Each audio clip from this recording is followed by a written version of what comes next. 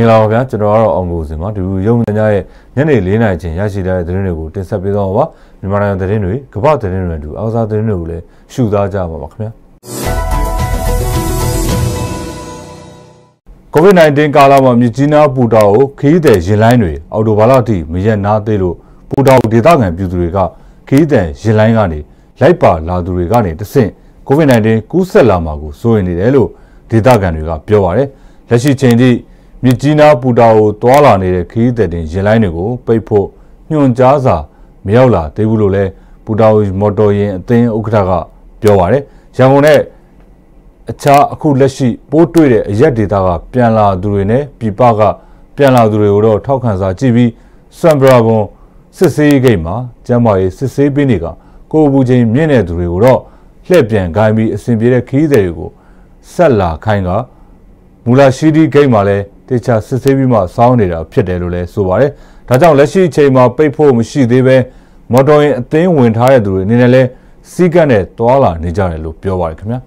။စကိုင်းတိုင်းဒေသကြီးကလေးမျိုးစမ်းမျိုးရက်ကွက်က COVID-19 ပိုးတွေ့လူနာ2ဦးကိုအော်တိုဝါလာ9ရက်နေ့မနက်ပိုင်းမှာဆေးရုံကဆင်းခွင့်ပေးလိုက်ပြီလို့ပြည်သူ့လွှတ်တော်ကိုယ်စားလှယ်ဒေါ်ရှာမီကပြောပါတယ်။ကလေးမျိုးနယ်မှာ COVID-19 အတည်ပြုလူနာ29ဦးရှိပြီး10ဦးကတော့ဆေးရုံကဆင်းခွင့်ရသွားပြီဖြစ်ပါတယ်။ ဆေးရုံကနေဆင်းခွင့်ရခဲ့သူတွေဟာ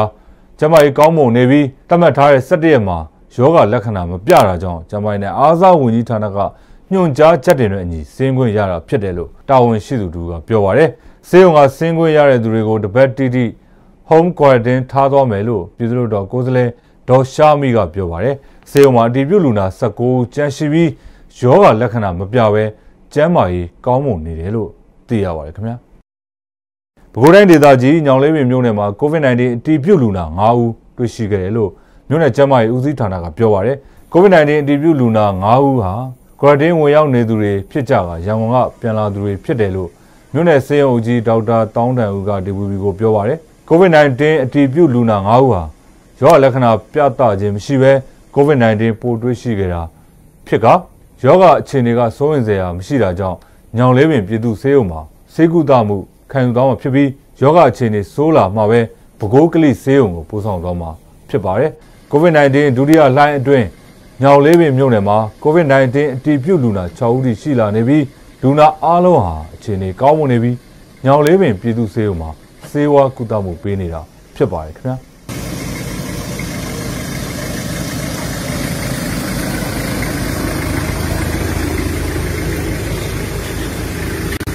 မူမီနယ်မှာ COVID-19 အတည်ပြုလူနာသစ်18ဦးတွေ့ရှိခဲ့ပြီးအဲ့ဒီထဲမှာကုန်တင်ကားမောင်းသူနဲ့ရင်နောက်လိုက်10ဦးထိပါဝင်ခဲ့တယ်လို့မွန်ပြည်နယ်ပြည်သူ့ကျန်းမာရေးဦးစီးဌာနကအော်တိုဘာလ6ရက်နေ့ညပိုင်းမှာထုတ်ပြန်လိုက်ပါတယ်။ COVID-19 ရောဂါတွေ့ရှိခဲ့တဲ့ကုန်တင်ရင်မောင်းသူနဲ့ရင်နောက်လိုက်တွေကိုကြိုက်ထိုမြို့နယ်ကစစ်တောင်းတရားဂိတ်မှာယောဂပိုးရှိမရှိစစ်ဆေးရာက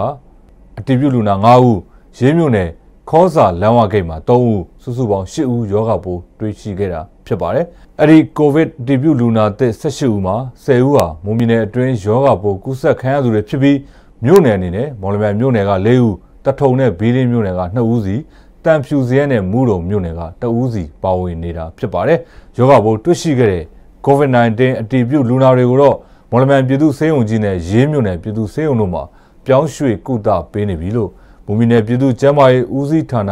ဒုပြည်နယ်ဦးစီးမှူးဒေါက်တာဝတ်မောင်က ဒီဘူဘီကိုပြောပါရခင်ဗျာ။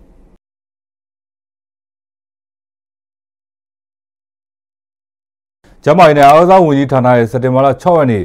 ညထုတ်ပြန်ချက်အရ COVID-19 လူနာအသစ်က1200ကျော်ရှိပြီးကိုဗစ်ကြောင့်သေဆုံးသူလူနာအသစ်က29ဦးရှိပါတယ်အခုဆိုရင်မြန်မာနိုင်ငံမှာ COVID-19 ကူးစက်ခံရတဲ့သူ2000ကျော်ဆေးရုံဆင်းခွင့်ရတဲ့သူ9900ကျော်နဲ့သေဆုံးသူစုစုပေါင်းအောင်ဆိုရင်482ဦးရှိနေပြီဖြစ်ပါတယ် COVID-19 အတီးပြူလူနာတွေထပ်တိုးလူနာတွေနဲ့ကိုဗစ်အတီးပြူလူနာတွေကိုစေကုသပေးနေတဲ့အခြေအနေနဲ့ပတ်သက်ပြီးတော့သတင်းရယူနေတဲ့ကျွန်တော်တို့ဒီဘူဘီသတင်းတော့နူးရာကိုဆက်သွယ်မေးမြန်းကြည့်ပါမယ်နူးရာရေတို့ဒီကိုဗစ်ထပ်တိုးတီးပြူလူနာတွေနဲ့ပတ်သက်ပြီးတော့နော်ဘာတွေစုံစမ်းသိရှိရသေးလဲအဲ့ဒါလေးပြောပါဦးဟုတ်ကဲ့ပေါ့နော်ဒီမလေးကညထုတ်ပြန်ဆက်တမောက်ဆိုရင်လည်းကိုဗစ်လူနာတစ်ခေါက်နေရာကျော်ရှိရပေါ့နော်ဒီထဲမှာဆိုရင်လည်းကုန်တိုင်းကတော့အများဆုံးလို့ပြောလို့ရပါဘူး တရားတွေ့နေမှာတမဆိုရင်မျိုးနယ်မှာဆိုရင်လည်းနေရာ30ကိုသူတို့ဒီတစ်ခွဲနမူနာယူစေးကမှာ180တရားရှိစေဦးမှာယောဂပိုးတွေ့ရှိရလို့လည်းသိရပါတယ်ရှင်နောက်တော့စမ်းချောင်းမှာဆိုရင်လည်းဒီအဲစမ်းချောင်းမှာဆိုရင်လည်းသူတို့ဒီယောဂပိုးတွေ့ရှိရသူ9ဦးတွေ့ရတယ်ပြီးတော့ဒီတောက်သားမျိုးနယ်မှာဆိုရင်လည်းသူတို့အယောက်90ကျော်စေးကမှာ35ဦးမှာယောဂပိုးတွေ့ရှိရတယ်လို့သိရပါတယ် နောက်ထပ်ဒီအစိမ်လို့နေပေါ့နော်ဒီအစိမ်လို့နေမှာဆိုရင်လည်းသူတို့သကွမ်းနေတာဒီခါမှာလည်း50အယောက်50ကျော်မှာယောဂပိုးတွေ့ရှိရတယ်ဒီအယောက်50ကျော်ထဲမှာဆိုရင်လည်းဒီအင်းစိန်ရွာမှာပရိယတိသတ္တန်တိုက်ကတိုင်ကတော့၄ပါးလဲပါဝင်တယ်လို့သိရပါတယ်ရှင်ဒီပြီးတော့ဒီအင်းစိန်မြို့နယ်များပိုးတွေ့ရှိတဲ့ဒီထဲမှာဆိုရင်လည်းအင်းစိန်ဆေးရုံမှာစေကုသနေတဲ့ပိုးတွေ့လူနာတူးမှလည်းဒီယောဂပိုးတွေ့လူနာတူးကလည်းတေဆုံးတေဆုံးခဲ့တယ်ဆိုပြီးလည်းသိရပါတယ်ရှင်။နေ့ရဒီတေဆုံးခဲ့လူနာတွေထဲမှာဆိုရင်လည်း တေဆုံးလူနာအဖြစ်28ဦးရှိရပေါ့နော်ဒီထဲမှာဆိုရင်လည်းဒီအသက်ကြီးရလူနဲ့ဒီယောဂခံရှိရလူတွေအများဆုံးပါဝင်တယ်လို့လည်းသိရပါတယ်ရှင်။တေဆုံးသူတွေထဲမှာဆိုလည်းဒီအသက်ကြီးရသူတွေအများစုမှာတေဆုံးမှုတွေများလာတယ်ဒီယောဂခံရှိရလူတွေများယောဂခံရှိရသူတွေမှာတေဆုံးမှုတွေများလာတဲ့အတွက်လည်းဒီပြောင်းစုဝင်ကြီးကနေလည်းသူတို့အဲဒီမှာပဲနေဖို့တိုက်တွန်းထားတယ်လည်းသိရပါတယ်ကြောင်းဟုတ်ကဲ့လူတွေအဲ့တော့နောက်တစ်ချက်ကဈေးတွေမှာဆိုရင်အခုကူးစက်မှုတွေရှိနေတယ် ကျွန်တော်ထင်ကြဈေးတွေမှာလူသွားလူလာများတဲ့ဈေးတွေမှာလည်းရှိနေတယ်ပေါ့နော်အဲ့တော့ထောင်ရှိသူတွေကလည်းကိုဗစ်ကာဝေးနဲ့ပတ်သက်ပြီးတော့ဒီဘလို့ထိထိရောက်ရောက်ကင်တွေဖြစ်ရှင်းနေရဲဆိုတာလည်းသိပြရတယ်ဟုတ်ကဲ့ပါနော်ဒီအခုနောက်ပိုင်းမှာဆိုရင်ဒီကိုဗစ်ဘိုးတွေးရှိပြီးတော့ဒီကူးစက်မှုအများဆုံးဖြစ်နေတာဒီစိတ်ယုံနဲ့ဒီဈေးမှာပေါ့နော်ဒီစိတ်ယုံနဲ့ပတ်သက်ပြီးတော့ဒီကျမိုင်းနဲ့အားလုံးစစ်တမ်းကထုတ်ပြန်ချက်တွေထုတ်ပြန်ထားတယ်တွေ့ရပါတော့ဒါပေမဲ့ဒီဈေးနဲ့ပတ်သက်ပြီးတော့ကျတော့တို့ထုတ်ပြန်ချက်ကိုသူကထုတ်ပြန်ထားမှမရှိဘူးအာဒီဈေးတွေကိုတော့အဓိကဒီ ဒီပင်စီမံတရားရေးကော်မတီကနေပြီးတော့တို့ဒီနဲ့သူတို့ဘက်ကနေပြီးတော့လိုက်လာပြီးတော့ဆောင်ရွက်ပေးနေရတယ်ရှိပါတယ်ဒါပေမဲ့ဒီဈေးတွေမှာပေါ့နော်ဒီပိုးသွေးရှိမှုတွေရှိလာတဲ့အခါမှာပေါ့သူတို့အနေနဲ့ဒီဈေးပိတ်သိမ်းဖို့ဆိုတဲ့နေရာမှာသူတို့အခက်အခဲရှိနေတာပေါ့နော်ဒီလက်ရှိနေလည်းဒီထုတ်ပြန်ထားတဲ့အထဲမှာဆိုရင်လည်းဒီကစားတော့ပုံနဲ့စားတော့နဲ့ပတ်သက်တဲ့အားရဒီစိတ်သိမ်းဖို့အတွက်သူတို့အနေနဲ့ဒီထုတ်ပြန်စားထုတ်ပြန်ထားတာမရှိတဲ့အတွက်လည်းဒီဈေးတွေမှာပိုးသွေးရှိရခါကြရင်သူတို့အနေနဲ့ဒီဈေးပိတ်သိမ်းနေဆိုတဲ့ဟာမျိုးတို့တောင်ပေါ်တော့မရှိဘူးလို့သိရပါတယ် လက်ရှိကလည်းသူတို့ဒီဈေးဝယ်သူတွေဒီဈေးဝယ်သူတွေနဲ့ဈေးရောင်းသူတွေပေါ့နော်သူတို့ကိုလည်းဒီ master ဖို့ဒီကျန်လိုက်နာဖို့အတွက်သူတို့လှုပ်ဆောင်ထားရရှိပါတယ်တကယ်လို့သူတို့စီကံမလိုက်နာဘူးဆိုရင်ကတော့ဒီပေါ့နော်ဒီထုတ်ပြန်ထားတဲ့အတိုင်းဒီတံငွေနေရာတက်ပြီးတော့ mask တောင်းချပါမှဖြစ်တယ်လို့လည်းသိရပါတယ်လက်ရှိအချိန်ကြီးကတော့သူတို့ဒီဈေးတွေမှာတော့ဒီကျန်လိုက်နာမှုဒီကစေဒီစကလိုက်နာနေတာစေဖြစ်တယ်လို့လည်းသိရပါတယ်ဒါပေမဲ့ပေါ့နော်ဒီဒေါက်တာမင်းတွေကတော့ဒီမနေ့ကပြုလုပ်တဲ့ဒီ ဆွေးနွေးပွဲတစ်ခုမှာဆိုရင်တော့ဒီရန်ကုန်တိုင်းမှာဆိုရင်ဒီဈေးတွေမှာကျန်လိုက်နာမှုအားနည်းလာတဲ့အတွက်ဒီနေရာရဲ့အထူးစက်မှတ်ဖို့လိုတယ်ဆိုပြီးတော့လည်းဒီပြောကြားထားရတဲ့ရှိပါရှင်လက်ရှိမှာဆိုရင်လည်းဒီရန်ကုန်တိုင်းမှာဆိုရင်လည်းဒီဈေးရင်းမင်္ဂလာဈေးပြီးတော့ဒီစစ်မင်တိုင်းကားငါးဈေးတွေမှာဆိုရင်လည်းဘောကဘောကုသမှုညားနေရလဲတွေ့ရတွေ့ရပါတယ်ကြောင့် ဟုတ်ကဲ့နောက်တစ်ချက်ကလေဒီလက်ရှိ COVID-19 အတည်ပြုလူနာတွေကိုထားရှိကုသပေးနေတဲ့အခြေအနေနဲ့ပတ်သက်ပြီးတော့เนาะဒီနောက်ဆုံးစုံစမ်းသိ ထားတာလေးတွေလည်းပြောပါအောင်ကျမတို့လက်ရှိမှာဆိုရင်လည်းဒီမြန်မာနိုင်ငံဆိုဒီ COVID-19 ကူးစက်ခံရတဲ့လူတွေ2000ကျော်အထိရှိတော့အဲမှာဆိုရန်ကုန်တိုင်းမှာဆိုရင်ကတော့ COVID-19 ကူးစက်ခံရတဲ့လူ6000ကျော်ရှိပါတယ်။ဒါပေမဲ့တိတ်ဆုံးသူ100ကျော်ရှိရပေါ့နော်။လက်ရှိဒီရန်ကုန်တိုင်းမှာတော့ဒီ COVID တီးတူလူနာတွေကိုကုသပေးနေတဲ့နေရာ10ခုရှိတယ်။ဒီနေရာ10ခုမှာဆိုရင်တို့ COVID-19 တီးတူလူနာ9000 ဒီပေါ့သူကပေးနေလို့လည်းပြရပါတယ်။ပြောလက်ရှိဒီသုံးချက်ညှော်ထားလို့နေတဲ့ဒီကိုဗစ်ကုသရေးစံတာဒီလေးခုမှာဆိုလည်းဒီအယောက်3000ကျော်ကိုကုသပေးနိုင်ဖို့ပြင်ဆင်နေလို့လည်းပြရပါတယ်ရှင်။ဒီကျေပြရပြီးတော့ဒီစက်မတော်ကနေလည်းပေါ့နော်ဒီကိုဗစ်ဒီလူနာ2000ကျော်ကိုကုသပေးနိုင်ဖို့နေရာလေးခုမှာပြင်ဆင်ထားတယ်။ဒီကပေါ့နော်လက်ရှိမှာတော့ဒီရန်ကုန်တိုင်းမှာဆိုရင်ကိုဗစ်အတူတူလူနာ1000ကျော်တော့သူတို့ကောင်းမွန်စွာကုသပေးနိုင်မယ်လို့လည်းပြရပါတယ်ရှင်။ပြီးတော့လည်းဒီ ရန်ကုန်တိုင်းမှာဆိုဒီတိတ်ဆုံးမှုအများဆုံးရှိတယ်ပြီးတော့ဒီလောကပြင်းထန်တဲ့လူရှိရဲ့အတွက်လည်းဒီ ICU ပေါ့နော်120ကျော်သူတို့ပြင်ဆင်ပြီးတော့ကုသပေးနေလို့လည်းသိရပါတယ်အဲပြီးတော့ပေါ့နော်ဒီအခုလက်ရှိပေါ့နော်ဒီ COVID စာပွဲဆေးတွေထွက်လာတော့မယ်ဆိုပြီးတော့လည်းအဲတချို့ပြောနေရရှိပေါ့ဒါကလည်းနေ့ကုန်ပိုင်းမှာထွက်လာနိုင်ဖြစ်ရှိတယ်ဆိုပြီးလည်းဒီပညာရှင်တချို့ကသူတို့ပညာရှင်တချို့ကဒီသုံးသပ်ထားလဲဒီကလည်းဒီအပန်းကြီးကြီးအားသူရဲ့ဒီမှုကွန်ရက်ဆောင်ရွက်တာရေးထားပေးရဆိုရင်တော့ဒီ COVID ကာကွယ်ဆေးကတော့ဦးစားပေးဦးစားပေး ကိုတွန်းပေးမဲ့သူတွေရှိတယ်ပြီးတော့ဒီကာကွယ်ဆေးကတော့ဒီတနိုင်ငံလုံးကိုတော့စီတီရောက်ရောက်မှာမဟုတ်ပေမဲ့ဒီ20ရာခိုင်နှုန်းကိုတော့ဒီကာကွယ်ဆေးကိုပေးသွားနိုင်မှာဖြစ်တဲ့အတွက်လည်းဒီသိဆုံးမှုတွေတော့ဆော့ချပေးနိုင်မှာဖြစ်တယ်လို့လည်းပြောပါတယ်။ပြီးတော့လည်းသူတို့ဒီကာကွယ်ဆေးကိုအမြဲဆုံးရရှိနိုင်ကာကွယ်ဆေးထပ်ရှိလာရင်လည်းပေါ့နော်အမြဲဆုံးရရှိနိုင်ဖို့တော့ဒီ WHO နဲ့သူတို့ပူးပေါင်းပြီးတော့ဆောင်ရွက်နေတယ်လို့လည်းပြောပါတယ်ဆရာဟုတ်ဟုတ်ကဲ့နူရာလေးအခုလိုပြည့်စုံဖြစ်ကြပြီအတွက်ကျေးဇူးတင်ပါတယ်ခင်ဗျာဒါကတော့ COVID-19 အတည်ပြုလူနာထပ်တိုးလူနာတွေနဲ့လက်ရှိလူနာတွေကို စေကုသပေးနေတဲ့အခြေအနေနဲ့ပတ်သက်ပြီးကျွန်တော်ဒီဝီသတင်းတောက်နူးရာကိုမေးမြန်းခဲ့တာဖြစ်ပါတယ်ဆက်လက်ပြီးတော့သတင်းတွေကိုတင်ဆက်ပေးပါဦးခင်ဗျာ Type City Center ဘိုးထောင်မှာ COVID-19 ရောဂါကုသရေးဌာနတည်ဆောက်နေတာ90ရာခိုင်နှုန်းလောက်ရှိနေပြီးအော်တိုဘာလ15ရက်နေ့မတိုင်ခင်ဖွင့်လှစ်မယ်လို့တာဝန်ရှိသူကပြောဆိုပါရယ်ခင်ချင်းချမ်းကတင်ဆက်ပေးတာပါခင်ဗျာ ရန်ကုန်တိုင်းမှာ COVID-19 positive လူနာတွေများလာတာကြောင့်ဆေးရုံတွေသာမကပဲ COVID ကုသရေးစင်တာများတည်ဆောက်ပြီးကုသပေးနေတာဖြစ်ပါတယ်။အခုလက်ရှိမှာတော့ Time City Center ဂရင်300ဆန် COVID ကုသရေးစင်တာကိုဘူထောင်မြို့နယ်မှာတည်ဆောက်နေတာဖြစ်ပြီးလက်ရှိမှာလည်းအဆောင်တိုးချဲ့ဆောက်နေတာဖြစ်တယ်လို့ဘူထောင်မြို့နယ်လွှတ်တော်ကိုယ်စားလှယ်ကပြောပါတယ်။ကျမတို့အခုကတော့အမှန်ဆိုလို့ရှိရင်တော့ပေါ့နော်အင်တာနက်လောက်ကစထားမယ်လို့ရည်ရွယ်တာပေါ့နော်ဒါပေမဲ့ကျမတို့ကဒီဘက်မှာလည်းထပ်ပြီးတိုးချဲ့လိုက်တော့ရင်းတော့အဆောင်က 3ဆောင်ပေါ့နော်အခုက4ဆောင်ပေါ့နော် ABCD ပေါ့4ဆောင်ဖြစ်တွေ့တယ်အဲ့ဒီဆောင်ကအပိသက်ပြီးမှအလုပ်သမားတွေကလည်းဟိုပေါ့ဟိုလူနာလာပြီဆိုရင်လူသမားတွေကလုံးဖို့ခတ်သွားပြီလေအဲ့ဒါကြောင့်မို့ကျမတို့ဒီမှာအဆုံးလေးတက်နေတာဆိုတော့ကျမထင်ပါတယ်ဒီတစ်ပတ်ထဲတော့ဖွင့်နိုင်မယ်လို့ရန်ကုန်မှာလည်းလူနာတွေများလာတာကြောင့်အမြန်ဆုံးနဲ့အကောင်းဆုံးတည်ဆောက်နေပြီးအော်တိုဘာလ15ရက်နေ့မတိုင်ရင်ဖွင့်ပြမယ်လို့တာဝန်ရှိသူကပြောပါရယ်။ဦးတို့ကတော့အခုဒီရန်ကုန်မှာလည်းဟိုပါပေါ့နော်ရန်ကုန်မှာလည်းဖြစ်နေတဲ့ဟိုဟာကဟို လူဦးယောဂပိုးကိုဗစ်လူနာပိုးကလည်းများလာတယ်ပေါ့များလာတဲ့အခါကျတော့ဦးတို့ကအဲ့အခြေအနေကိုလည်းသိတယ်အဲ့ဒါကြောင့်မလို့အမြန်ဆုံးနဲ့ဟိုပါပေါ့အကောင်းဆုံးဖြစ်အောင်ပေါ့တမီဟိုစောက်စောက်နေပါတယ်တမီအဲ့ဒါလေးတော့ခုရပေါ့နော်ခုမှဆိုရင်ဦးတို့ကဟို15ရက်နေ့မတိုင်15ရက်မတိုင်ခင်လောက်ဖွင့်ပြမယ်တမီအဲလူနာတွေထားဖို့ကတော့ဦးတို့ကဒီကုမ္ပဏီကလည်းပါမယ်နောက်တစ်ခါကျတော့ဒီထွေအုပ်ချုပ်ရေးအဖွဲ့တွေလည်းပါမယ်ကျမကြီးလည်းပါမယ်ပေါ့ဒါဝိုင်းပြီးတော့ကြီးကြပ်ရေးအဖွဲ့နဲ့ဦးတို့ဆက်ပြီးတော့ ဟို running လုပ်သွားမှာပေါ့နော်ဝီလက်ပြန်ကုံအဖွဲ့နဲ့တခြားကမ်ပဏီတွေပရိုက်တာအဖွဲ့တွေကလည်းလူနာတွေလာနေရင်အဆင်သင့်ဖြစ်နေဖို့ကိုလိုအပ်တာတွေလာလှုပ်ကြတာရှိရလို့ပြောပါတယ် Time City Center ဘိုးတထောင် COVID-19 ကုသရေးဌာနမှာလူနာ300နဲ့ဆရာဝန်တွေ volunteer တွေကတော့60လောက်ထားတယ်လို့ပြောပါတယ်ကျွန်မခင်ငင်းညမှာအနေနဲ့ရဲရဲကလာတဲ့ကုံကားတွေကိုပဲခူးတိုင်းအတွင်းစစ်ဆေးနေပြီးအတီးပြုတ်လူနာတွေကိုပဲခူးတိုင်းမှာပဲကုသပေးနေရလို့ရေရှည်မှာအခက်အခဲတွေဖြစ်လာနိုင်တယ်လို့ပဲခူးတိုင်းအစိုးရအဖွဲ့ဝင်ဝန်ကြီးကပြောပါတယ်။ ကိုအောင်စိုးမိုးကပြပို့ထားတာပါခင်ဗျာအနေနဲ့အရရက်ကနေဖြတ်တန်းလာတဲ့ကုန်တွေကားတွေကိုပဲခူးတိုင်းအဝင်နေရာ9နေရာကနေအော်တိုဘာ2ရက်နေ့ကစပြီး COVID-19 ရောဂါပိုးရှိမရှိ test kit နဲ့စစ်ဆေးပေးနေပါတယ်။အဲ့ဒီလိုစစ်ဆေးလို့ယောဂပိုးတွေ့ရှိတဲ့ရင်မောင်းရင်နောက်လိုက်တွေကိုသူတို့ရဲ့ဒေတာကိုလွှဲပြောင်းကုသဖို့အဆင်မပြေနိုင်တဲ့အတွက်ပဲခူးတိုင်းအတွင်းကသက်ဆိုင်ရာဆေးရုံတွေမှာပဲပို့ဆောင်ကုသစေခဲ့ပါတယ်။လက်ရှိမှာကပဲခူးတိုင်းအတွင်းမှာကုသနေစေ COVID-19 အတည်ပြုလူနာ300ကျော်ရှိနေတဲ့အပြင် ကိုရတီနေမှာလည်းပြည်ပပြန်နေရန်ကုန်ပြန်နေနဲ့ယောဂပိုးရှိသူတွေနဲ့ထိစပ်သူတွေ6000ကျော်လောက်ဆောက်ရှောက်နေရတာတွေရှိတဲ့အတွက်အခုလိုတခြားတိုင်းဒေသကလာတဲ့ကားတွေကပိုးတွေ့လူနာတွေထိစပ်ခဲ့သူတွေပါတိုးလာမယ်ဆိုရင်ရေရှည်မှာအခက်အခဲတွေဖြစ်လာနိုင်တယ်လို့ဆိုပါတယ်။ကျွန်တော်ဒီဘက်မှာလည်းကျွန်တော်တို့တိုင်းမှာလည်းကျွန်တော်တို့တိုင်းရဲ့ကုသမှုနဲ့ကျွန်တော်တို့ရဲ့နေရာအနေထားနဲ့ပေါ့နော်ဒါတော့သူ့အတူဟိုအဆင်ပြေအောင်လုပ်နေရတာပေါ့ဟုတ်ကဲ့ဒါလည်းမှာဒီ သက်ဆိုင်ရာစားထွက်ထွက်ခွာတဲ့နေရာပေါ့နော်အဲ့ဒီအစားပြီးတော့ဟိုစနစ်တကျကျွန်တော်တို့ကစစ်ဆေးမှုတွေမလုပ်ဘဲနဲ့ကျွန်တော်တို့ကပဲကြားပြက်ကြားပြက်စစ်နေရတယ်ဆိုရင်တော့ကျန်တော့နည်းနည်းဝန်တော့ဝန်ဖြစ်လာမှာပေါ့ဒီမှာ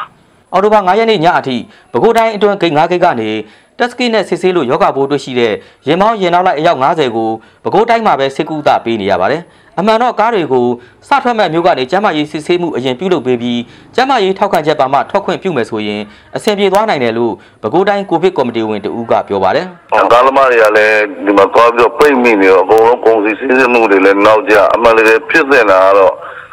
သူတို့ဟိုနည်းနည်းရက်လေးကြိုပြီးတော့ကြော်ညာပြီးတော့ ဟိုသူ့မြို့မှာသူစစ်ပြီးတော့ဒီထောက်ကချက်ပါမှကားထွက်လို့ရမယ်ဆိုတော့ပုံစံမျိုးလုံးလိုက်ရင်အဲ့ဒါအစောကိစ္စတမျိုးဖြစ်သွားမှာပေါ့နော်ဘကိုးကကားလမဘကိုးမှာစစ်စစ်ပြီးတော့မှသူ့မှာတင်းရှင်းကြောင်းဖြစ်ပြီးထွက်လိုက်ဟိုစီစီရမလဲဟိုပြေဘောတကယ်လို့ကုန်စိမ်းကားတွေကပါလာမယ်ဆိုဒီကုန်စိမ်းတွေငါးတွေအကုန်လုံးရေခဲငါးတွေဆိုအကုန်လုံးပြည့်စည်ကုန်ပါလေ ပဲခူးတိုင်းမှာပိုးတွေ့လူနာပေါင်း900ကျော်ရှိပြီးအဲ့ဒီထဲမှာတက်တာပြောက်ကင်းလို့ဆေးရုံဆင်းခွင့်ရှိသူ200နီးပါးရှိပါတယ်။လက်ရှိကုသပေးနေရသူ320ကျော်ရှိတယ်လို့ပဲခူးတိုင်းကျန်းမာရေးဌာနရဲ့ထုတ်ပြန်ချက်အရသိရပါတယ်။ကျွန်တော်အောင်စိုးမိုးပါအလုံသမားတွေရဲ့ပြီးခဲ့တဲ့စက်တင်ဘာလအတွက်လောက်ခလာစာကိုမနစ်ဖြန်အော်တိုဘာလ10ရက်နေ့မှာတက်ဆိုင်ရာအလုပ်ဌာနတွေကိုတွားရောက်ထုတ်ယူခွင့်ပြုလိုက်ပါပြီ။ကျန်းမာရေးဝန်ကြီးဌာနကချမှတ်ထားတဲ့ကျန်းမာရေးလမ်းညွှန်ချက်တွေနဲ့အညီလောက်ခလာစာထုတ်ယူဖို့ကိုကုန်သည်စက်မှုအသင်းချုပ်ပါဝင် ရန်ကုန်တိုင်းကျန်းမာရေးဌာန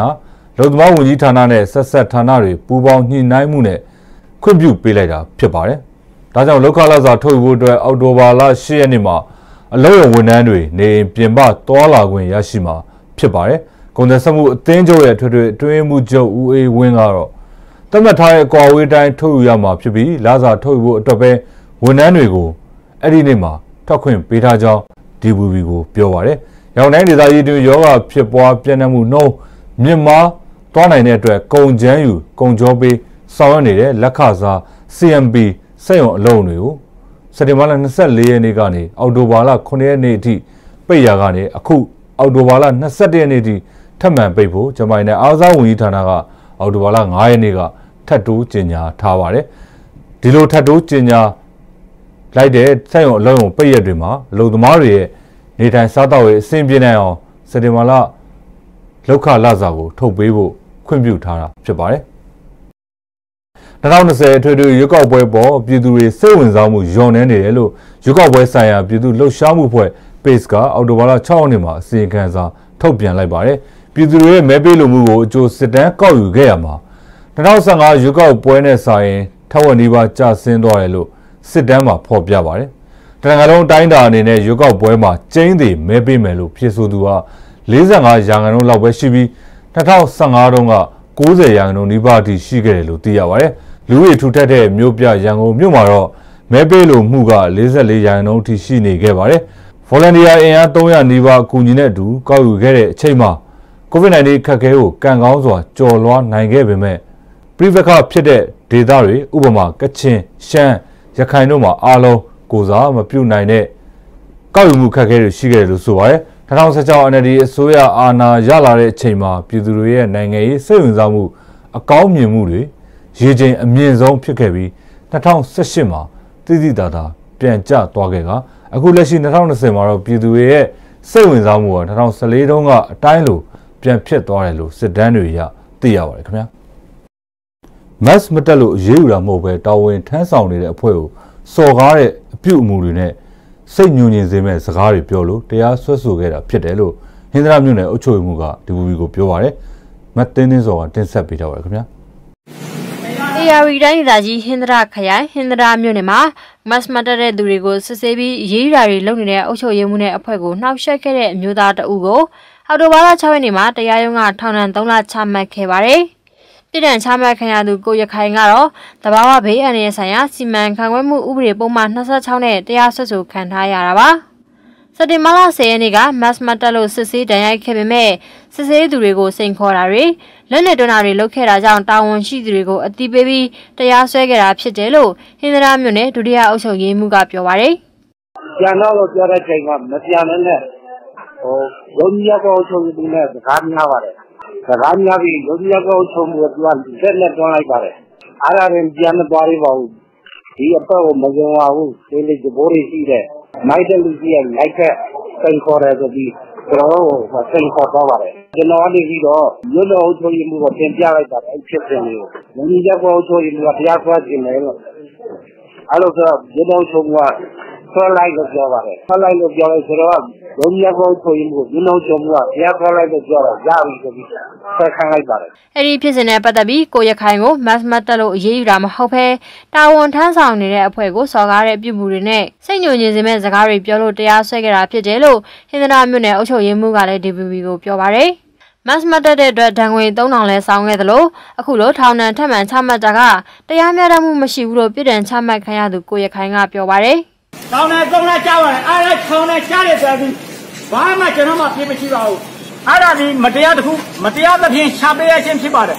ပြည်တံချခံရတဲ့ကိုရခိုင်ကတတ်မှတ်ထားတဲ့ဥပဒေအတိုင်းဒဏ်ငွေလဲဆောင်ခဲ့သလိုတတ်မှတ်ထားတဲ့အတိုင်း max 3ခုလဲဝယ်ခဲ့တဲ့အတွက်နောက်ဆက်တွဲဥပဒေနဲ့တရားစွဲဆိုတာမျိုးမလုပ်သင့်ဘူးလို့မြန်မာနိုင်ငံလူခွင့်ရေးကာဝယ်မြင့်တင်သူများအဖွဲ့တာဝန်ရှိသူကပြောပါရယ်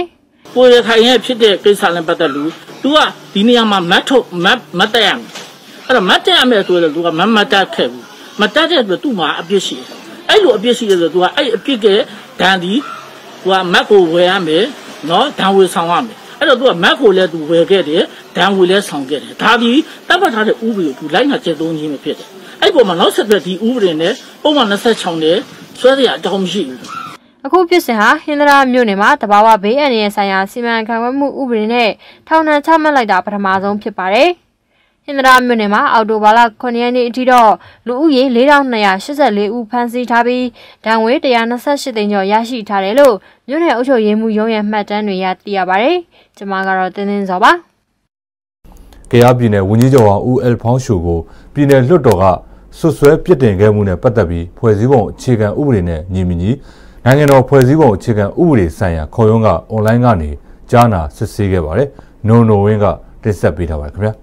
တိုင်းဒေသကြီးသို့မဟုတ်ပြည်내ဝင်ကြီးချုပ်အပေါ်မှာဆွဆွဲပြစ်တင်ခြင်းနဲ့ပတ်သက်ပြီးဖွဲ့စည်းပုံအခြေခံဥပဒေပုံမှန်263ပုံမှန်ကွယ်ခခွေးနဲ့ဂန်းငယ်တို့ကိုအနဲ့တိတ်ပဲဖွင့်ဆိုပေးဖို့နိုင်ငံတော်ဖွဲ့စည်းပုံအခြေခံဥပဒေဆိုင်ရာခေါ်ရုံးကအော်တိုဘာလ6ရက်နေ့မနေ့အွန်လိုင်းကနေကြားနာခဲ့ပါတယ်။အဓိကကြားနာတဲ့အချက်3ချက်ပါရှိပြီးပထမအချက်ကတော့ဥရဖောင်းရှိုကိုနိုင်ငံတော်သမ္မတကစက်တဘာလ3ရက်နေ့ရက်စွဲပါအမိန့်စာအမှတ်24မြင်းဆောင်2020နဲ့ဝန်ကြီးချုပ်တာဝန်မှရက်စဲပြီးတဲ့အတွက်သူဟာနိုင်ငံတော်ဖွဲ့စည်းပုံအခြေခံဥပဒေဆိုင်ရာခေါ်ရုံးတင်သွင်းလွှာတင်သွင်းခွင့်ရှိသူဟုတ်မဟုတ်ကြားနာခဲ့ပါတယ်။ဒီအချက်ပေါ်မှာဥရဖောင်းရှိုရဲ့ရှေ့နေဒေါ်မင်းမင်းဆိုးကဥရဖောင်းရှိုဟာဝန်ကြီးချုပ်တာဝန်မှရက်စဲမခံရခင်အောက်ကလ31ရက်နေ့ကခုံရုံးကိုတင်သွင်းခဲ့တာဖြစ်ပြီးခုံရုံးတို့တင်သွင်းခွင့်ရှိသူဖြစ်တယ်လို့ခုံရုံးမှာရှောက်လဲခဲ့ပါတယ်။ဒီပေါ်မှာကြားပြည်နယ်လွှတ်တော်ဥက္ကဋ္ဌဦးလထွေးကတော့ ဥရဖောင်းရှိုကိုဝန်ကြီးချုပ်တောင်မှရက်ဆိုင်လိုက်ကြောင်းနိုင်ငံတော်သမ္မတကစက်တဘာလ3ရက်နေ့ကအမိန့်ထုတ်ပြန်ခဲ့တဲ့နောက်မှနိုင်ငံတော်ဖွဲ့စည်းပုံအခြေခံဥပဒေဆိုင်ရာခုံရုံးထံဥရဖောင်းရှိုရဲ့တင်သွင်းလွှာကိုနိုင်ငံတော်သမ္မတကဆက်လက်ပေးပို့ထားတာတွေ့ရှိရကြောင်းလည်းပြန်လည်လျှောက်လဲခဲ့ပါတယ်။ဒါအပြင်ဥရဖောင်းရှိုဟာစက်တဘာလ1ရက်နေ့ကျင်းပတဲ့ကြရပြည်နယ်လွှတ်တော်ပုံမှန်အစည်းအဝေးတက်ရောက်မိန့်ခွန်းပြောဖို့ညနေ15နာရီမိနစ်20အချိန်မှာ ခံဝန်လက်မှတ်ထိုးထားတဲ့လွတ်တော်မှတ်တမ်းတွေရှိခဲ့တယ်လို့နေပြည်တော်နဲ့ခံဝန်လက်မှတ်ထိုးတယ်ဆိုတဲ့စာပါတဲ့အတွက်ဒါဟာအောက်ကလ30ရက်နေ့ကလက်မှတ်ထိုးတင်ပြခဲ့ခြင်းမဟုတ်ကြောင်းပြောပါတယ်ကျွန်တော်တို့ဆိုလိုချင်တာကဝန်ကြီးချုပ်မဟုတ်တော့ဘဲနဲ့တင်တယ်လို့ကျွန်တော်တို့ကသုံးသပ်တာသူကဒီတရက်နေ့မှာကျွန်တော်တို့မဲခွဲလိုက်တဲ့ခါကျတော့သူကတရက်နေ့ဟိုမဲမဲခွဲခင်တင်တဲ့ပုံစံသူပြတာပေါ့ပြတော့ခုနကျွန်တော်ပထမပြောခဲ့သလိုပဲသူကအဲ့ဒီ31ရက်နေ့ဟိုပါပေါ့ကျွန်တော်တို့ခုနလိုမျိုးဒီ နေပြည်တော်၌လက်မှတ်ထိုးတယ်လို့စာသားမပါလို့ရှိရင်တော့ဒါကျွန်တော်တို့လိုက်ရခဲ့တယ်ပေါ့နေပြည်တော်၌လက်မှတ်ထိုးတယ်ဆိုတဲ့အတွက်ကိုကျွန်တော်ဟုတ်လားဆိုမှနေပြည်တော်သွားလားဆိုတဲ့လွှဲလာတဲ့ခါမှာလုံးဝမသွားဘူးမသွားတဲ့ edition နဲ့ကိုကျွန်တော်တို့ကခုနဒီဗတိနဲ့တင်တယ်လို့ဘယ်လိုပဲသုံးသပ်တာဒီမှုကြားနေတဲ့ဒုတိယအချက်ဖြစ်တဲ့ဆွဆွဲပြစ်တင်သူ9ဦးထဲက ဦးသိန်းအောင်ခါဆဲရဲနှုတ်ထွက်သွားတဲ့အတွက်လွတ်တော်ကိုယ်စားလှယ်စုစုပေါင်းဥယျာဉ်အနည်းဆုံး၄ဘုတ်တဘုတ်ပြည့်ခြင်းမရှိတော့တဲ့အခြေအနေမှာဆွဆွဲချက်ကိုဆက်လက်စုံစမ်းစစ်ဆေးခြင်းနဲ့ပတ်သက်ပြီးဖွဲ့စည်းပုံအခြေခံဥပဒေပုံမှန်136ခကိုအနဲ့ဒိဗယ်ဖွင့်ဆိုဖို့အပြန်အလှန်လျှောက်လိုက်ခဲ့ပါတယ်ဒီမောဆုံးမြို့နယ်မဲဆန္ဒနယ်အမှတ်1ပြည်နယ်လွတ်တော်ကိုယ်စားလှယ်ဦးသိန်းအောင်ခဦးဆဲရဲရဲ့နှုတ်ထွက်စာမှာတခုဖြစ်စဉ်မှာကိုယ်စားလှယ်လောင်းဖြစ်ရွေးချယ်ခံရမှုမရှိခြင်းအပေါ်ပုဂ္ဂိုလ်ရေးစံစံတိုက်ခိုက်မှုများဟာ သိတာပေါ်လွင်နေပြီးယခုဖြစ်စဉ်ကြောင့်ပြည်내အတွင်းအုပ်ချုပ်ရေးလူမှုစီးပွားရေးနဲ့လုံခြုံရေးရန်တရားတို့အားထိခိုက်တဲ့အခြေအနေထိဖြစ်ပေါ်လာနိုင်တဲ့အတွက်ယခုလိုဆွဆွပြစ်တင်မှုပြုလုပ်ခြင်းအပေါ်ဦးသိန်းအောင်ခဦးစဲရအနေဖြင့်ပါဝင်လိုခြင်းမရှိတော့ပါကြောင်းလက်မှတ်ရေးထိုးတင်ပြထားတဲ့၅ဦးအနက်မှမိမိတဘောနဲ့မိမိနှုတ်ထွက်ကြောင်းနဲ့ပြည်내လွှတ်တော်ပါဝင် ဒေါ်မင်းမင်းဆိုရဲ့ပြောဆိုချက်နဲ့ပတ်သက်ပြီးကြရပြည်နယ်လွတ်တော်ဥက္ကဋ္ဌဦးလာထွေးကဦးသိန်းအောင်ဆွဆွဲပြစ်တင်တဲ့အကြောင်းအရာနဲ့ပတ်သက်ပြီးပြည်နယ်လွတ်တော်၁၇ကြိမ်မြောက်ပုံမှန်အစည်းအဝေးမှာထောက်ခံဆွေးနွေးထားသူတူဖြစ်တယ်လို့ဆွဆွဲပြစ်တင်ဖို့လက်မှတ်ထိုးတင်ပြမှုမှာမိသည့်အဖွဲ့အစည်းပုံကိုယ်ကိုများဒီလိုဆောင်ရွက်ကြောင်းတင်ပြခဲ့ခြင်းမရှိကြောင်းရှောက်လဲခဲ့ပါတယ်။ဒါပေမဲ့ဆွဆွဲပြစ်တင်ခြင်းကနေနှုတ်ထွက်ကြောင်းတင်ပြမှုမှာလွတ်တော်ဥက္ကဋ္ဌကိုဆွဆွဲထားသလိုပြစ်တင်ဝေဖန်ထားတဲ့အပြင်နှုတ်ထွက်စာကိုလည်းလွတ်တော်နဲ့မသက်ဆိုင်တဲ့နိုင်ငံတော်သမ္မတယုံနိုင်ငံတော်အတိုင်ပင်ခံပုဂ္ဂိုလ်အပါအဝင်ဌာန18ခုကိုပို့ခဲ့တာကိုတွေ့ရှိရတဲ့အပြင်ဥက္ကဋ္ဌနဲ့လွတ်တော်ကိုဆွဆွဲပြစ်တင်တာနဲ့ပတ်သက်ပြီးတရားစွဲဆိုသွားမယ်လို့ကြားနာမှုပြီးမှဦးလာထွေကမီဒီယာတွေကိုပြောဆိုခဲ့ပါတယ်ကျွန်တော်တို့ကတော့ဖိအားမပေးဘူးဦးသိန်းအောင်ဒီလိုလုပ်ပါလားတခါမှမပြောခဲ့ဘူးကျွန်တော်တို့လေဒါဟိုပွင့်လင်းနေသူသူနဲ့လည်းဒီလိုမျိုးသုံးမိဆိုင်နဲ့ရှင်းလို့ရတယ်ဦးသိန်းအောင်ဒါလက်မှတ်ထိုးကျွန်တော်တခါမှမပြောဘူးအေးဒါပေမဲ့ तू ကကြတော့ဒီခုနကျွန်တော်ကိုတက်တက်ဖိအားပေးတယ်ဒီကျွန်တော်နဲ့ဟိုကျွန်တော်တို့ ရွေးကောက်ပွဲကိုယ်စားလှယ်မပါလို့လုပ်တယ်ဆိုတဲ့ဟာမှာတော့အနောက်ကခုနအရင်တစ်ခေါက်ပြောခဲ့လို့ပဲပေါ့လက်ညူကြီးပေါ့လက်မဲမို့လေလက်ညူကြီးရှိတယ်ဆိုတာကတော့အဲ့ဒါလည်းပဲဟိုအခုထပ်ပြောပါမယ်ကျွန်တော်တို့ဥတင်းအောင်ကိုကျွန်တော်တရားစွဲမှာပါမကြခင်လေဒါပွင့်ပွင့်လင်းပြောတာပါ ဥဥရဖောင်းလျှော့ပေါ်ဆွဆွဲပြစ်တင်ချက်ကိုစုံစမ်းစစ်ဆေးနိုင်ဖို့စုံစမ်းစစ်ဆေးရေးအဖွဲ့ကိုဖွဲ့စည်းရမှာလဲဆွဆွဲပြစ်တင်ရမှာပါဝင်တဲ့လွတ်တော်ကိုယ်စားလှယ်၃ဦးကိုထက်သွင်းဖွဲ့စည်းထားရတဲ့ပတ်သက်ပြီးဒေါ်မင်းမင်းစိုးကဆွဆွဲပြစ်တင်သူတွေဟာစုံစမ်းစစ်ဆေးရေးအဖွဲ့မှမိတို့မြပါဝင်ခွင့်မရအောင်ဥပဒေကရှင်းလင်းစွာပြဋ္ဌာန်းထားကြောင်းနဲ့ဆွဆွဲပြစ်တင်တဲ့လွတ်တော်ကိုယ်စားလှယ်တွေရှိတဲ့လွတ်တော်မှစုံစမ်းစစ်ဆေးရေးအဖွဲ့ကိုမဖွဲ့ဘဲတခြားလွတ်တော်ကိုယ်စားလှယ်တွေနဲ့ဖွဲ့စည်းရမှာဖြစ်ကြောင်းလည်းရှောက်လဲခဲ့ပါတယ်ဒီအပေါ်လွတ်တော်ဥက္ကဋ္ဌဦးလထွေးကတော့ဖွဲ့စည်းပုံအခြေခံဥပဒေနဲ့အညီလှုပ်ဆောင်ခဲ့တာဖြစ်ကြောင်းလည်းပြောပါတယ်ဒီသူတို့ကတော့အရင်ကျွန်တော်တို့ဒီအစိုးတင်သွင်းမှလုပ်ရမယ်ဆိုတာဒီမှာမပြတနာဘူးကျွန်တော်တို့က263မှာဝင်းချုပ်တယောက်ကိုလေးဘုံတုံကတင်လာလို့ရှိရင်ကျွန်တော်အဖွဲဖွဲရမယ်စုံစမ်းစစ်သေးဖွဲရမယ်ဖွဲပြီးလို့ရှိရင်ဝင်းချုပ်ကိုကျွန်တော်တို့ခြေပခွင့်ပေးရမယ်နောက်တစ်ခါကျွန်တော်တို့အဲ့ဒါပြီးလို့ရှိရင်ကျွန်တော်တို့အဲ့ဒီရဲ့စဉ်းစားဆွေးဆောင်စစ်သေးတွေ့ရှိချက်ကိုလွတ်တော်မှာတင်ပြီးမှလွတ်တော်လွတ်တော်ကနေမှဆုံးဖြတ်မယ်ပေါ့ဒီစုံစမ်းစစ်ဆေးအဖွဲ့ရလည်းပဲဒီမှာမဖြစ်ဆုံးဖြတ်လို့မရဘူးသူက တွေ့ရှိချက်ပဲကျွန်တော်တို့တင်ပေးရမှာလွတ်တော်မှာပဲကျွန်တော်တို့က263ဒီဟိုတွေကကားငယ်တည့်ရကျွန်တော်တို့မဲခွဲဆုံးဖြတ်မှာပဲအားလုံးပေါ့လွတ်တော်အားလုံးကနေဆုံးဖြတ်ပြီးမှလုပ်ရတဲ့ကိစ္စပါ ဒီအကြောင်းကိစ္စနဲ့ပတ်သက်ပြီးအပြည့်အစုံဖြတ်ချက်ချမဲ့နေ့ရက်အချိန်တွေကိုတော့နိုင်ငံတော်ဖွဲ့စည်းပုံအခြေခံဥပဒေဆိုင်ရာခုံရုံးနည်းဥပဒေ16အရပုံစံ8နဲ့ခုံရုံးရဲ့ကြော်ညာတင်ပုံးနဲ့ခုံရုံး website တို့ကနေထုတ်ပြန်ကြေညာသွားမယ်လို့လည်းခုံရုံးကကြားနာချက်အပြီးမှာကြေညာခဲ့ပါတယ်။ဝန်ကြီးချုပ်တူကိုဆွဆွဲပြစ်တင်မှုနဲ့ပတ်သက်ပြီးနိုင်ငံတော်ဖွဲ့စည်းပုံအခြေခံဥပဒေဆိုင်ရာခုံရုံးကကြားနာတာဟာဒါပထမဆုံးအကြိမ်ဖြစ်ပါတယ်ရှင်။ကျွန်မနော်နိုရီမှာအေးအဖွဲ့က တိမ့်ပိုက်ရရှိခဲ့တယ်ဆိုတော့တက်စခန်းကုန်းကိုတပ်မတော်ကတိမ့်ပိုက်ထားဆဲဖြစ်တယ်လို့တပ်မတော်သတင်းမှန်ပြန်ကြားရေးအဖွဲ့အတွင်းမှုဗမှုချုပ်ဇော်မင်းထွန်းကပြောဆိုလိုက်ပါတယ်။ရခိုင်ပြည်နယ်ရသေတောင်မြို့နယ်အောင်သာစီကျေးရွာနဲ့ထီးဆွဲကျေးရွာအနီးမှာရှိတဲ့အေအဖွဲ့ရဲ့စခန်းကုန်းကိုတပ်မတော်ကအော်တိုဘာလ၄ရက်နေ့မှာတိမ့်ပိုက်ရရှိထားကြောင်းထုတ်ပြန်ပါတယ်။အော်တိုဘာလ9ရက်နေ့မှာတော့အေအဖွဲ့ကသူတို့စခန်းကုန်းကိုပြန်တိမ့်ပိုက်နိုင်ခဲ့ပြီး လက်နက်ခဲယမ်းတွေပါတင်ဆက်ရမိခဲ့တယ်လို့အေအဖွဲ့ကသတင်းထုတ်ပြန်ပါတယ်။တပ်မတော်သတင်းမှန်ပြန်ကြားရေးအဖွဲ့အတွင်းမှုဗိုလ်မှူးချုပ်ဇော်မင်းထွန်းကအဲ့ဒီထုတ်ပြန်ချက်ကမှန်ကန်မှုမရှိကြောင်းညင်းဆိုပြီးအေအဖွဲ့ကအင်အား900ကျော်နဲ့တိုက်ပွဲဖြစ်ခဲ့ပြီးတပ်မတော်အရာရှိစစ်တီတချို့တေဆုံးခဲ့တာပဲရှိတယ်လို့ပြောဆိုပါတယ်။အေအဖွဲ့ရဲ့ပြောရေးဆိုခွင့်ရှိသူခိုင်ဒုက္ခကတော့ပလောဝဒေသမှာတပ်မတော်သားတွေဖမ်းမိခဲ့တုန်းကလည်းအခုလိုညင်းဆိုခဲ့တာပဲလို့ပြောဆိုပါတယ်ခင်ဗျာ။ မကွေးမျိုးတောင်တွင်းလန်းလေတက်စကန်ဝင်ခြံစည်းရိုးအဆက်မှာစစ်သုံးလေရင်တစည်းပြေးလန်းချော်ခဲ့တယ်လို့တိုင်းဒေသကြီးရဲတပ်ဖွဲ့ကပြောပါရယ်အော်တိုဘာလ6ရက်နေ့နေ့လယ်ပိုင်းကဖြစ်ပွားခဲ့တာဖြစ်ပြီးတော့လေရင်ပြန်ဆင်းတဲ့အချိန်မှာအနောက်ကလေထီးမပွင့်တာကြောင့်အချိန်မထိန်နိုင်ပဲပြေးလန်းချော်ပြီးမြေထားလန်းဘက်ကိုရောက်သွားတာဖြစ်တယ်လို့ရဲတပ်ဖွဲ့မှူးရဲမှူးကြီးလှိုင်တင့်ကပြောပါရယ်ဒီလေဟာ MNG 29အမျိုးအစားဖြစ်ပြီးလေရင်အမှတ်2ခွန်20 လေ့ကျင့်ရေးတိုက်လင်ဖြစ်ကဗိုလ်ကြီးအဆင့်ရှိသူရာရှိတူကမောင်းနေလာလဲဖြစ်ပါတယ်အခုလိုဖြစ်ပွားခဲ့တာနဲ့ပတ်သက်ပြီးထိခိုက်ဒဏ်ရာရရှိမှုမရှိဘဲဒီလင်ကိုတော့မကွေးလေတက်စကန်ဌာနချုပ်ကိုပို့ဆောင်လိုက်တယ်လို့သိရပါတယ်ခင်ဗျာကြောင်ပွဲမြို့နယ်အတွင်းကကြေးရွာတချို့မှာမြန်မာတပ်မတော်နဲ့ RCSS SSA တပ်တွေကြားလက်ရှိစစ်ရေးတင်းမာမှုတွေရှိနေတာကြောင့်အဲ့ဒီကြေးရွာတွေဘက်ကိုနိုင်ငံရေးပါတီတွေကမဲဆွယ်စီယုံရေးဆင်းဖို့ခက်ခဲနေပါတယ် ခွန်စောဦးကတင်ဆက်ပေးတော့ပါတယ်ခင်ဗျာရှမ်းပြည်နယ်မြောက်ပိုင်းကြောင်မဲမြို့နယ်ပုံဦးကျေးရွာအုပ်စုအတွင်းနဲ့ကောင်းမှုလျံကျေးရွာနီးမှာမြမတပ်မတော်နဲ့ရှမ်းပြည်ပြည်လဲထူထောင်ရေးကောင်စီ RSS တွေတပ်တွေကြားအော်တိုဘာလ2ရက်နေ့ကစတင်ပြီးထိထိတိုက်ခိုက်မှုတွေဖြစ်ပွားနေပါတယ်။အဲ့လိုစီးရေးတင်းမာနေတဲ့ကျေးရွာတွေဘက်ကိုနိုင်ငံရေးပါတီတွေကမဲဆွယ်စီးရေးဆင်းဖို့ခက်ခဲနေတယ်လို့လွှတ်တော်ကိုယ်စားလှယ်လောင်းတွေကပြောပါတယ်။ပုံမိုးရက်ဒီအထက်ဘက်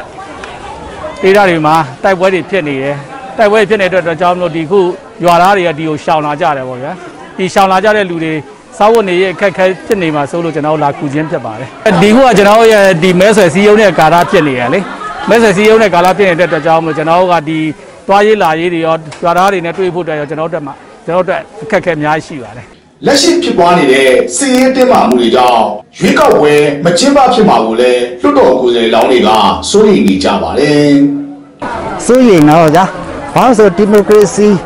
ဖက်ဒရယ်နိုင်ငံတည်ထောင်နေဆိုတာကဘယ်ကနေစရမလို့ဆိုကျွန်တော်တို့ဒီရွေးကောက်ပွဲနဲ့စပြီးရတာကြီးပါပဲခင်ဗျ။နော်ကျွန်တော် NCA မှာလည်းဒီလိုပါပဲဒီလိုရွေးကောက်ပွဲနဲ့တင်မြောက်လာမှကျွန်တော်ဖက်ဒရယ်နိုင်ငံကိုတွားမှာပဲ။အဲ့တော့အဲ့ဒါကြောင့်မလို့ ဒီဒီလိုဖြစ်တာကိုကျွန်တော်စိတ်ကလည်းမကောင်းဘူးနှစ်ဖက်တစ်ခတ်တိုက်ခိုက်မှုတွေကြောင့်ခံခဲရွာကရွာသားတအူဒဏ်ရာရရှိခဲ့ပါတယ်။ဒါအပြင်ရွာလူရွာသားတစ်ထောင်ကြီးပါအိုးအိမ်ဆွခွာပြီးလိစက်ရာတောင်ထိပ်ဖုန်ကြီးကျောင်းခံခဲဖုန်ကြီးကျောင်းနဲ့ပုံဝဖုန်ကြီးကျောင်းတို့မှာခိုးလုံနေကြရပါတယ်။ဒါကြောင့်နှစ်ဖက်တပ်တွေအနေနဲ့ဂျင်းရွာတွေအနီးမှာတိုက်ပွဲမဖြစ်ကြဘူးလက်ရှိလွတ်တော်ကိုယ်စားလှယ်ကပြောပါတယ်။တိုက်ပွဲဖြစ်တာကဖြစ်တာတက္ကနာပေါ့လေ ကျွန်တော်တို့ကအဲကျွန်တော်တို့တည်ထားတာကတော့တိုက်ပွဲဒီလက်နက်ကင်အချင်းချင်းဖြစ်တဲ့အနေအထားရှိတယ်ထို့တဲ့ကြောင့်ကျွန်တော်တို့ကတခုပြောချင်တာကတော့တိုက်ပွဲဖြစ်ရင်ကျွန်တော်ပြောတာဒီပြည်သူလူထုနေတဲ့ကြေးရွာတွေနားမှာဟိုကြေးရွာတွေကိုရှောင်ပြီးတော့ဖြစ်ရင်ပို့ပြီးတော့အကောင်းဆုံးလို့ကျွန်တော်တို့ကမြင်တယ်ဗျဟုတ်လက်ရှိချိန်ထိနှစ်ဖက်တပ်တွေကြားတစ်ခတ်တိုက်ခိုက်မှုတွေရှိနေပြီးစစ်အင်အားတွေလည်းထပ်ဖြစ်နေကြပါတယ်ကျွန်တော်ခွန်စောပါ COVID-19